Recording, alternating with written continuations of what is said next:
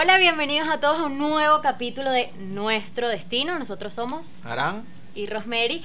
Y el capítulo de hoy va a tratar de...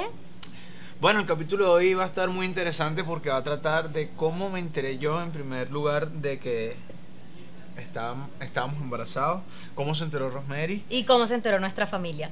y va a estar bien bueno porque Hay muchas hay anécdotas muchas- por ahí que estoy segurísima que ninguno se imagina y ninguno sabe.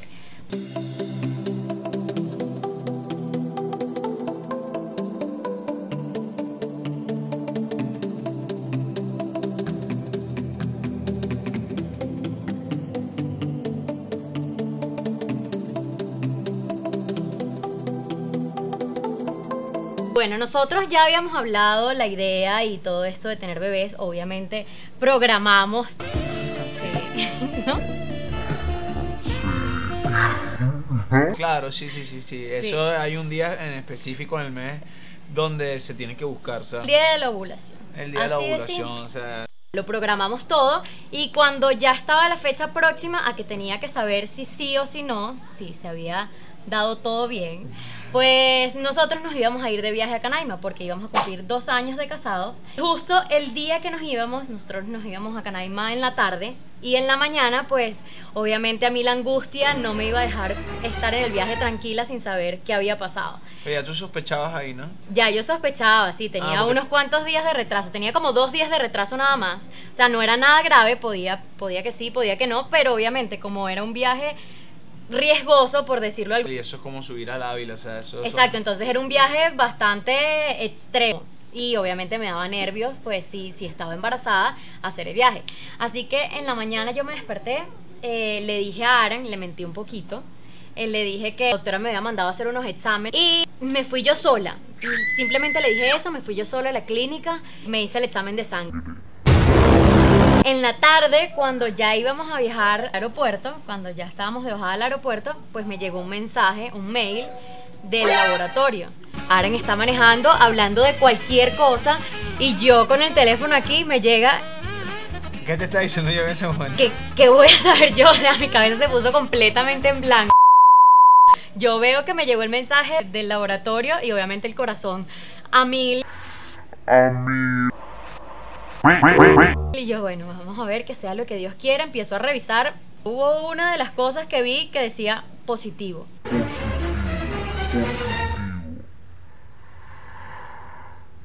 Realmente se me subió, se me bajó todo. Tenía a Aaron al lado, no sabía cómo disimular. Yo veía por la ventana y yo, ¿qué hago? ¿Qué hago? Enseguida le envié el mensaje a la doctora y le puse, ¿qué significa esto?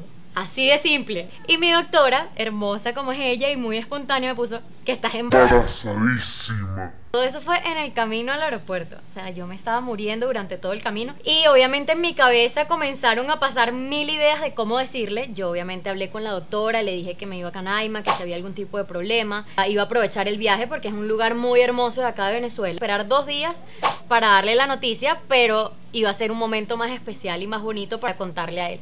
Entonces, bueno, nada, la doctora me dijo que sí, que no, no había ningún tipo de problema, que obviamente tuviera cuidado, pero... En ese momento, ¿cuánto tenías? ¿Un mes de embarazo? Sí, tendría Como tres semanas. cuatro semanas. La gente que ha estado embarazada tiene que saberlo.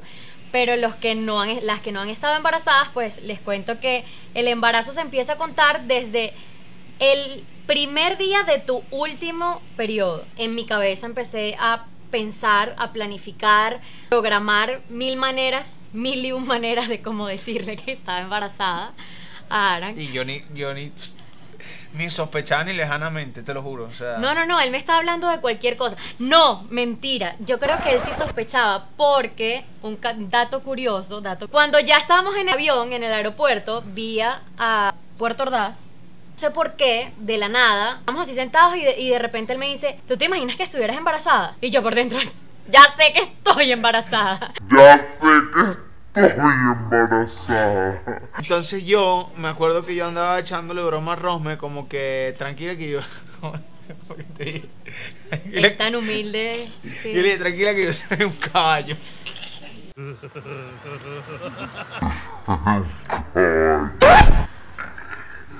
Yo tenía como una charla broma con Rosme, como que lo buscamos nada más un día y le dije, tranquila que yo soy un caballo, le andaba diciendo a Rosme, pero echándole broma. Y en el avión le dije como que, tranquila que yo sé que tú estás embarazada. ¿Te imaginas así. que estés Ah, ¿te embarazada? imaginas? Y yo Ajá. por dentro que, ok, sí lo estoy, ¿cómo se lo digo? ¿Cómo disimulo?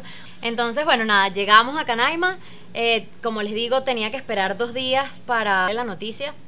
Los días en Canaima fueron mágicos, fueron bellísimos. El primer día, obviamente él no tenía ni idea. Fuimos al Salto el Sapo, Oficialmente nuestro salto. el Hacha. Hicimos varios de los recorridos y, Y son, fue- ahorita pensándolo bien, o sea, son riesgosos. súper riesgoso. Sí. ¿eh? En Canaima hay un, ¿cómo se dice? Cacique. Hay un cacique, bueno. El un- chamán. El chamán. El chamán, el chamán, el chamán. El chamán de, de Canaima se llama La Muerte. Realmente se hizo muy amigo de nosotros. Me llamo Viernes, Oso, Ato, Muerte. Y como que salió de- del tour realmente que estaba programado porque quería mostrarnos otras cascadas y otros saltos.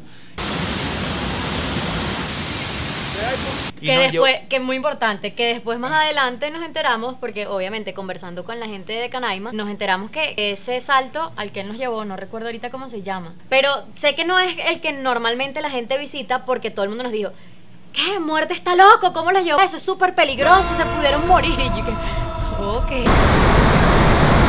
Estuvimos ese primer día, hicimos el recorrido, todo aquello, yo sin decirle nada, todo el tiempo pensando, ok, si me caigo aquí, si me... Dejamos todas nuestras cosas, almorzamos y luego comenzamos a subir hacia el Salto Ángel.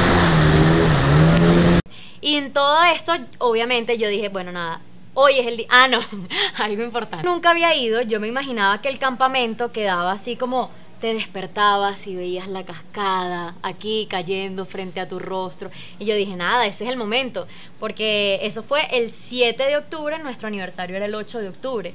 Yo dije, en la madrugada, cuando nos despertemos, todo así de novela, yo mi planificación. Nos despertamos y yo frente al Salto Ángel le diré que estoy embarazada y mil cosas.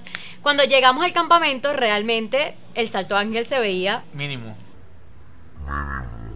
Mínimo, lejísimo. Y lo primero que era me dice, ay, no. No, por aquí no se ve bien. No, ¿Y yo tampoco te fue. Tampoco te fue. Tampoco te fue. Tampoco fue así. claro tampoco- que sí. no.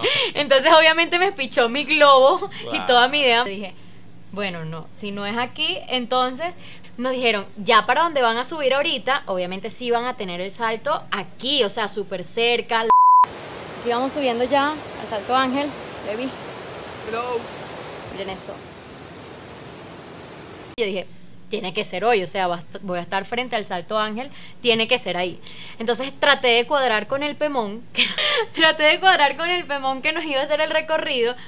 Primero, una de las maneras que pensé fue, yo me imaginaba que, que no sé, que íbamos a estar frente al Salto Ángel iba a ser algo plano, el salto atrás.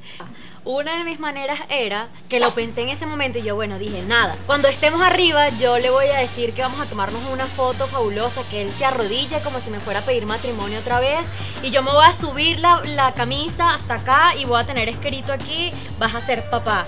O vamos a hacer tres. O me pasaron mil ideas. Entonces yo obviamente empecé a hablar con el primo. Por favor, consígueme un marcador, consígueme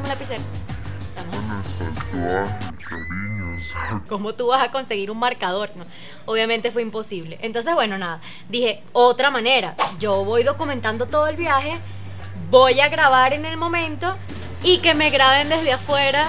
Eh, Entonces tengo como dos planos, una cosa artística, algo profesional, ¿me entiendes? Bueno, nada, subimos. Estábamos frente al Salto Ángel. Yo tal cual empecé a documentar todo con el teléfono. Y llegó el momento, yo le di ¿Qué? la cámara al pemón. Yo le di la cámara, la GoPro a él. Oh, Nada Yo- más a Romero se le ocurre darle una GoPro. No, pero. Ve, y empezaron a salir los números. Cuando empezaron a salir los números, me hace. Y le dije, mira, cuando yo me siente ahí y empiece a hablar con él, tú, tú comienzas a grabar. Graba todo para entonces tener como los dos planos, la reacción de él, tener el salto ángel atrás, no sé qué. Yo veo que ella se sienta como al lado mío. Y a una piedra así. Porque. Él tenía las mejores intenciones. No, de verdad, el chamo es muy bueno. Pero yo creo que él estaba nervioso también. Sí, o estaba, sea, él estaba súper nervioso. Sí pero yo creo que él es... Pero yo creo que él es Y lo veía como encuadrando. Y... Entonces Ron me agarró un video tipo selfie. Y ya yo sí le vi los labios a Rosemary como pálido. Yo de verdad estaba súper nerviosa, no tenía ni idea cómo comenzar, No, cómo que- decirle, el corazón estaba como... Y Sí, él como sí. si nada. Yo estaba tranquilo porque yo no me imaginaba nada. Estamos en el Salto Ángel, ¿sabes qué? Celebrando, ¿qué estamos celebrando? Dos años, ¿no? Fue que te dije así dos. Pero yo en el video parezco un niñito porque es que no Sí. entendía. Sí, dos, ¿Qué es eso? dos añitos de esposo. Eh, Pensé que era un video normal para tu Instagram porque realmente estábamos documentando todo el viaje. Exacto, era la idea, que él no sospechara. Y, y estamos celebrando algo más, ¿no sabes qué, qué, qué puede ser? Yo, ¿no? No entiendo qué, qué quiere decir. Y ahí yo me empecé a asustar porque Roma estaba pálida. Y me temblaba la voz. Y, y, y, o sea, y la empecé a ver así raro y dije, ¿qué pasó? Y me dijo, ¿qué? ¿Qué vamos a hacer, papás? Somos tres, ¿cómo ¿Qué vamos a hacer, papás? ¿Qué vamos a hacer, papá? Y yo... Él ¿sabes? se quedó en blanco. blanco. Yo realmente le dije en el video, lo que pasa es que no se oye, yo le dije, tú me estás jodiendo. Tú me estás jodiendo, Me fue estás lo primero que me dijo. Porque yo andaba, insisto, con la, con la, con la guachafita ya toda la semana. Tranquila que ya tú estás preñada y ese trabajo se hizo. Fue que como que un minuto de, de que estuve en shock, ¿verdad? O sea, Sí, sí, sí, no yo- me salieron lágrimas, no No, él nada, se quedó nada, en shock. para- Mira, mira, está en shock. ¿Se paró ya? No. No, dale. Lo más cómico de todo fue que después que leí la noticia, todos aplaudieron y no sé qué más. Yo voy hasta donde él, toda emocionada porque ya tenía el video fabuloso. Y de repente él me dice: No grabé. Pero yo no grabé. Yo me grabé. Yo me quería morir. Y yo, ¿cómo hago? Ya esto, ya esto no se puede repetir. Ya obviamente, pues ya el momento pasó. Pero también está en las anécdotas de cómo se enteró la familia. Después de enterarnos, obviamente fue pensar cómo se lo decíamos a la familia. Sobre todo, pues, porque parte de la familia de Aran está acá en Venezuela parte de mi familia no se encuentra acá en Venezuela, entonces bueno, era todo un tema, cómo se le decía, cómo no se le decía, muchos amigos tam- tampoco están acá en Venezuela. Entonces bueno, la primera persona que yo recuerdo que le dije que, que estaba embarazada fue a Diane, mi cuñada, el- la novia de, de mi hermano, el del medio, el que sigue, el hermano. Porque te- necesitaba que fuera mi cómplice. Nada, ya que vamos a estar a distancia, voy a viene diciembre, voy a decirles a mis papás que les voy a mandar un regalito de diciembre y cuadré con una chica allá de Chile para que me hiciera una cajita con una bambalina que tuviera el eco adentro, todo organizado súper lindo, cada, cada tarjetica tenía un mensajito, decía, bueno, ahora mira a mi papá, ahora mi mira a mi mamá, no se dan cuenta bonito, que, no se dan bambalina, cuenta, una bambalina con el eco adentro, no se dan cuenta que tienen cara de abuelo, esta era toda la idea hermosa. Entonces, nada, yo coordiné obviamente con mi cuñada, fue la primera que se lo dije, a ella sí se lo dije por teléfono, se emocionó muchísimo y me dijo, claro, yo te ayudo.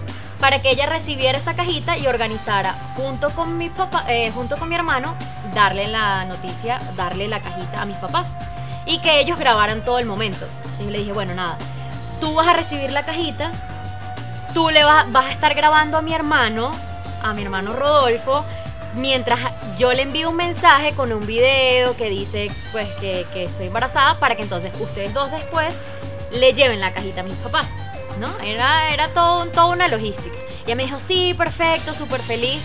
Y así fue. Ella recibió la cajita, ese día cuadró con Rodolfo, yo le envié, él me dijo, bueno, ya, estoy grabando. Es que todos... está embarazada.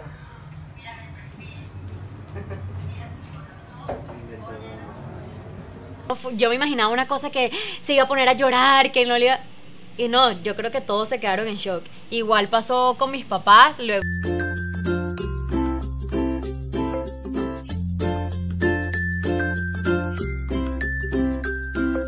Y realmente yo me esperaba un, no sé, una reacción completamente diferente de Más mi familia. euforia. Mira, ay, va a tener una primita o primito. Mi familia que estaba afuera se enteró de una manera muy diferente a como yo me la imaginaba. Sus reacciones fueron un poco inexpresivas, todos se quedaron como en shock. Por lo menos no te cachetearon.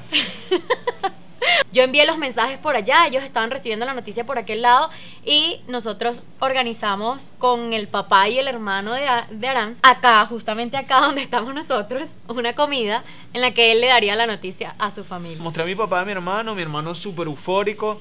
Este, toda mi familia ya sí es mucho más showcera que la de Rome. Los de Rome son todos como que súper serios. Serios. La mía sí es escandalosa. De hecho, se pueden dar cuenta que mi papá me mete un cachetón de verdad duro. Sí. ¿Tú me estás jodiendo? ¡No! ¡Marico! ¡Marico!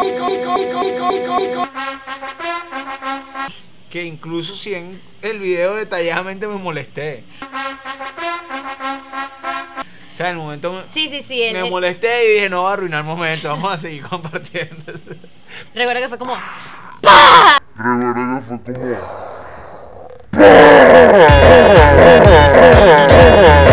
y después a mí, el, Fuimos o a sea, donde tus tías. mi tía, mi abuela, mis primitos, le dimos la noticia, todo.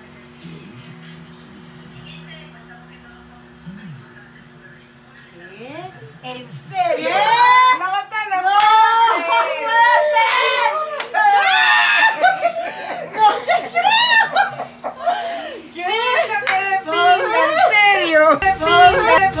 Mi tía no se lo podía creer, imagínense, yo después de, de- de- de haber perdido a mi mamá y a mi otra tía, el poder darle esta noticia a mi abuela y a mi tía, que son como mamás para mí, fue increíble, fue algo grande, fue ver sus reacciones, es como un regalo que yo les estoy dando a ellas de, de que wow, que van a ser bisabuela, mi abuela va a ser bisabuela, bisabuela. Y, mi, y mi tía abuela.